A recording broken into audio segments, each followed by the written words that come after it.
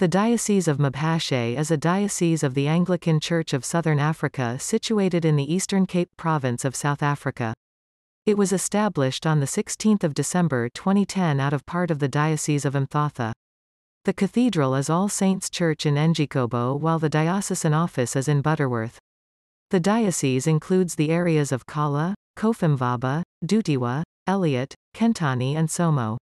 The first and current bishop is Sebenzile Elliott Williams.